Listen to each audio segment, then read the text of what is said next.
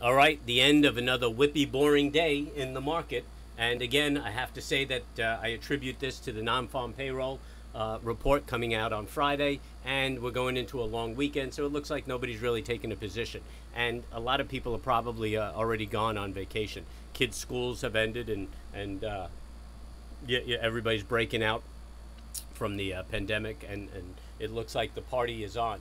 So here's the daily bar on the um, on the S and P, and uh, looked rather negative all day. We had this do- doji, and it looked like um, we were we, we were going to um, start consolidating, and this was an inside bar um, favoring uh, the bearish side or favoring the uh, downside, and um, it just seemed like we were moving into the consolidation, and then hey.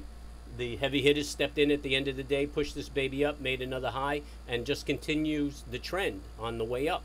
Um, so you, you know the market that can't be stopped. I mean, really, um, my general philosophy is I'm buying on dips in this market. Uh, it's that simple. Uh, and I mean, I'm not even going to go through the 60 because this is just uh, positive. So this is going to be a pretty brief market wrap. Um, let's look at BB for the day. Eh, it's just not doing anything, man. Just uh, whipping around. Uh, momentum is negative. Uh, yeah, you know what? I don't even recall looking at the S&P 500 momentum on the daily. Oh, look at that daily momentum. It's just building, building, building, building. Kind of eating up that divergence. Well, that's a pretty big move. That that from this high to that high. So I'd like to see some consolidation and then um, a move up on that. Um, we already decided that BB was just a bore. Here's some CLOV for all you CLOV fanatics and just a flattening momentum, nothing really happening um, on CLOV. And then uh, AMC.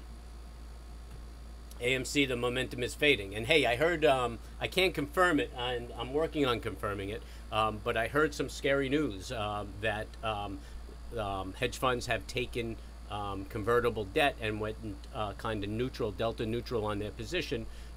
so if it's if it does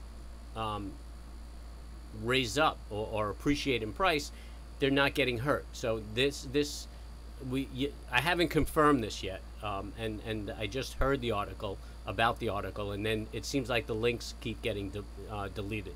So there could be somebody out there trying to um, um, create a scare and, and, and knock the longs out.